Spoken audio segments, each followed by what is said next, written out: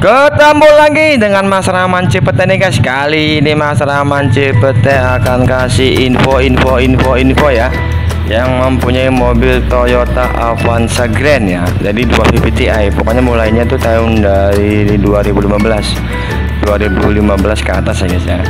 Nih kayak ini mobilnya guys. Ini cek engine-nya nyala. Nah, Kenapa bisa nyala dan apa penyakitnya? Yuk kita lihat tapi sebelum dilanjut jangan lupa subscribe, subscribe, subscribe ya guys ya.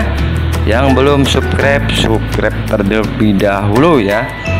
Jadi biar nggak ketinggalan info terbaru dari Mas Rahman Cipete nih guys. Pokoknya ini Mas Rahman Cipete nih berhubungan tentang info-info kendaraan roda 4 dari mulai letak nomor mesin dan nomor rangka ya, servis engine, electrical transmisi otomatis, transmisi manual, AC mobil, kaca film, variasi review kendaraan, pokoknya semua yang berhubungan dengan kendaraan roda 4 nih guys ya.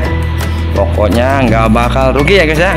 Akan dapat info-info penting dari Mas Rahman Cipete nih. Kali ini Mas Rahman Cipete akan ngasih tahu tentang info ya yang mempunyai mobil Grand Avanza cek engine-nya nyala dan satu lagi guys. Satu lagi itu Eco ini ya ecoknya ya. Jadi ekonomis maksudnya ekonomis itu buat pengirit pengirit bahan bakar itu juga mati ya guys ya.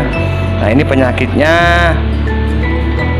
ntar Mas Raman akan kasih tahu ya. Penyakitnya itu ada di ini guys sistem emisi ya. Emisi switch yang ada di filter udara di sebelah kiri itu ada soket soket kabel dua yang ada selang samping sama bawah yang tembusannya ke tabung yang warna hitam ya guys ya.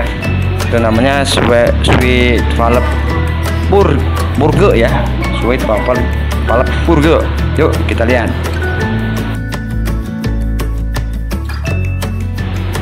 Kali ini Mas Raman Cipete lagi ada di bengkelnya temen ya. Ini Binoy Motor ya itu pimpinan dari Mas Rodi ya dari beli motor cut Pemalang City ya guys ya. Nah ini guys ini bersama montirnya Toto Priharto ya. Ini dari Banjar ya guys ya dari Banjarnegara ini pokoknya nih Mas Raman Cipete lagi ada di bengkelnya Benoi Motor ya. Ini di jalan ini ya Limo Limo guys ya bersama menterinya Mas Toto Priharto ini guys. Ini setelah dilakukan dengan pengecekan diagnosis ya diagnosis riset itu menunjukkan bahwa switchnya ini yang sistem emisi purge valve ya. Jadi buat membaca mendetek itu hawa bensin dia tuh nggak bekerja guys. Makanya dia cek engine-nya nyala. Dan ciri-cirinya kalau switch ini rusak ciri-cirinya itu ekonya ikut mati guys. Ekonya ikut mati ya jadi nggak nggak berfungsi buat ini guys ciri-cirinya ya. Pokoknya ini cek engine-nya nyala terus sama ini ya uh, indikator eko ya. Eko yang di sebelah kanan tuh atas itu dia ikut mati guys. Karena dia tidak uh, ngasih peringatan bahwa emisinya ini berlebihan. Makanya dia tidak bisa mengirit BBM ya guys ya. Nah ini guys Mas Toto lagi nih membuka ya mencopot mencongkel ya sama aja guys ya pokoknya. Pokoknya lagi dilihat guys apa uh, kerusakannya disebabkan karena kabar kendor apa emang rusak ya. Tapi kalau dilihat dari sistemnya mau udah udah dua kali di reset itu dia nongol lagi nongol lagi berarti dia rusak. Nah ya. Adapun untuk harga harganya switch ini ya switch emisi sistem purge valve control ya. Harganya yuk pengen tahu silahkan komentar Mas Rahman akan ngasih tahu harganya ya guys ya. Pokoknya jangan lupa yang belum subscribe subscribe subscribe. Subscribe terlebih dahulu guys ya biar nggak ketinggalan info penting dari Mas Rahman Cipete ya. Yuk yuk kita lihat lagi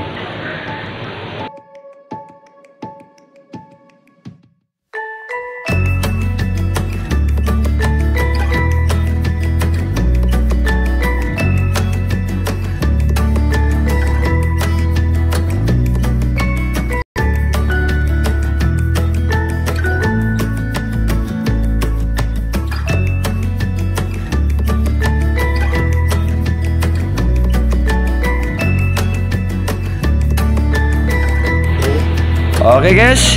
Pokoknya nih Mas Raman Cipete ini berhubungan dengan kendaraan roda 4 ya. Roda 4 semuanya info-infonya Mas Raman Cipete akan kasih Kasih, kasih terus ya. Yuk kita lihat lagi.